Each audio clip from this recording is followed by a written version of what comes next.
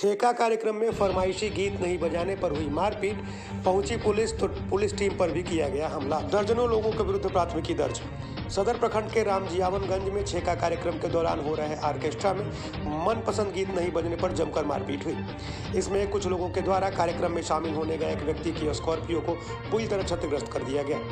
मारपीट की सूचना पर पहुँची डायल 112 की पुलिस टीम पर भी हमला हुआ, जिसमें पुलिस टीम के वाहन के शीशे भी तोड़ दिए गए।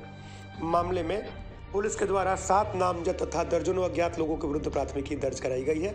एसपी मनीष कुमार ने बताया कि जिन सात लोगों के नाम प्राथमिकी में दर्ज हैं, उनमें राम जियावनगंज के कमलेश साहनी, सुधीर चौधरी लाल बाबू साहनी, सनोज साहनी तथा नया बाज़ार मठिया मोड़ निवासी गणेश यादव, अजय यादव और तूफानी यादव के नाम हैं। मठिया मोड़ निवासी गणेश यादव के स्कॉर्पियो को भी बुरी तरह क्षतिग्रस्त कर दिया गया है। एसपी ने बताया कि अभियुक्तों की तलाश के लिए पुलिस लगातार छापेमारी और कार्रवाई कर रही है। तो रात्रि में विधालय की एक सौ बारह की गाड़ी गई थी सूचना मिलने पर और वहाँ कुछ लोग थे जिनके द्वारा पुलिस लोगों की गाड़ी में पत्थर वगैरह फेंका गया। इसकी गाड़ी क्षतिग्रस्त हुई है और आठ लोगों पर थाना दर्ज किया गया। कैसा मामला में गई थी पुलिस से? हाँ मारपीट का ही कोई शिकायत आई थी। ठीक है तो क्या मतलब? शीशा वगैरह ट्राई हाँ, शीशा टूटने की बात बता रहे हैं। आगे कार्रवाई होगी। ठीक है।